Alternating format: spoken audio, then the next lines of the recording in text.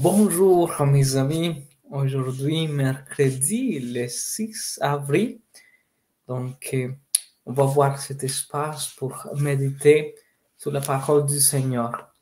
Déjà, nous manque quelques jours pour commencer cette belle semaine, la semaine la plus importante pour tous les chrétiens, la semaine sainte.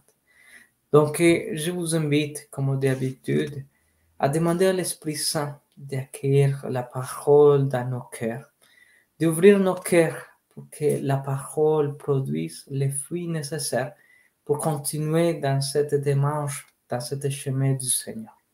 Aujourd'hui, je vous invite à méditer sur l'Évangile selon Saint Jean, le chapitre 8, versets 31 au 42. Au nom du Père et du Fils et du Saint-Esprit. Amen. Le Seigneur soit avec vous et avec votre esprit. Évangile de Jésus-Christ selon Saint Jean. Gloire à toi, Seigneur. Honneur et gloire à toi, Seigneur. Jésus, source d'amour.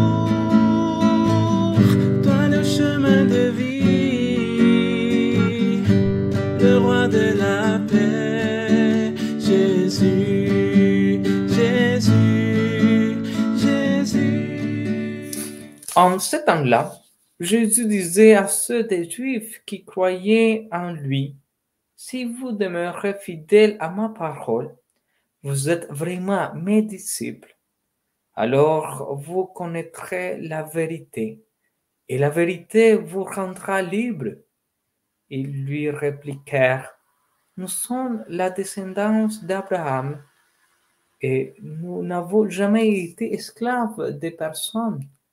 Comment peux-tu dire, vous deviendrez libres Jésus leur répondit, Amen, Amen, je vous le dis, qui commet le péché est esclave du péché.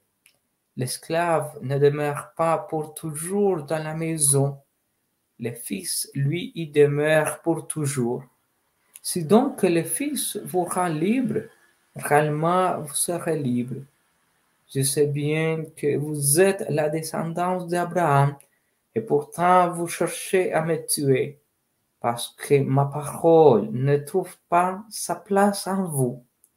Je dis ce que moi j'ai vu auprès de mon Père, et vous aussi. Vous faites ce que vous avez attendu chez votre Père. Ils lui répliquèrent, Notre Père, c'est Abraham. Jésus leur dit, Si vous étiez les enfants d'Abraham, vous feriez les œuvres d'Abraham. Mais maintenant, vous cherchez à me tuer, moi, un homme qui vous a dit la vérité que j'ai attendue de Dieu. Cela, Abraham ne l'a pas fait. Vous, vous faites les œuvres de votre Père. Ils lui dirent, nous ne sommes pas nés de la prostitution. Nous n'avons qu'un seul Père, c'est Dieu. Jésus leur dit, si Dieu était votre Père, vous m'aimeriez car moi, c'est de Dieu que je suis sorti, que je viens. Je ne suis pas venu de moi-même, c'est lui qui m'a envoyé. Acclamons la parole de Dieu. Gloire à toi, Seigneur Jésus.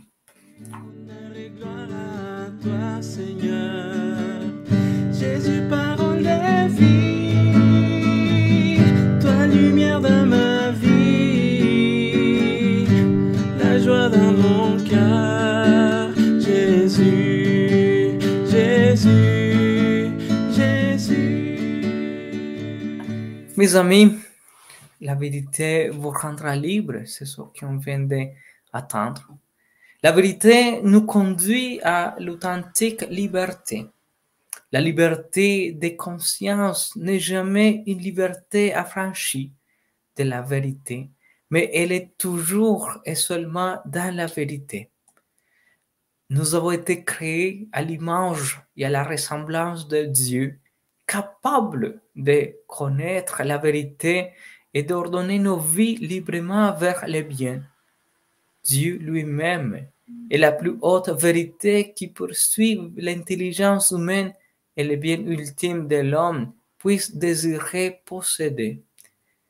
La vraie liberté étant l'humanité un signe privilégié de l'image divine, car Dieu a voulu le laisser à son propre conseil pour qu'il puisse de lui-même chercher son Créateur et, en adhérant librement à lui, s'achever ainsi dans une bienheureuse plénitude. Mes amis, je vous invite à dire, Seigneur Jésus, il n'est pas toujours facile de suivre la vérité et de choisir le bien.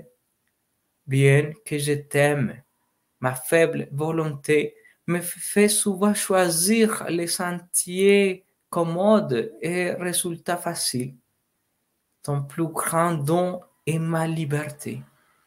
Mais je te supplie de m'accorder la grâce de m'aider et former mon caractère, à utiliser ma liberté de façon à ce que je devienne la personne que tu as créée, que tu veux que je sois.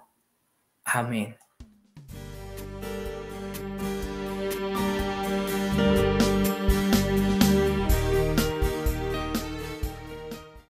Mes amis, je vous souhaite une belle journée. Et aussi, je vous invite encore à bien nous préparer pour accueillir cette semaine sainte et aussi avoir cette lumière, cet fruit de la semaine sainte, que c'est la résurrection de Jésus dans chacune de nos vies. Amen. Le Seigneur soit avec vous et avec votre esprit. Que Dieu Tout-Puissant vous bénisse, le Père, le Fils et le Saint-Esprit. Amen. À la prochaine. Merci beaucoup.